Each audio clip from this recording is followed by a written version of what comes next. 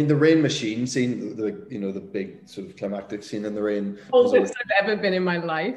Like rain machine, and um, fuck, it was cold. And also, Emily got the really shitty end of the stick there because whatever happened with the wind or the way it was set up, it was just like lashing into her face. And and we were like sort of obviously in profile, so like she was getting it here, and I was just getting it sort of in the back of my head.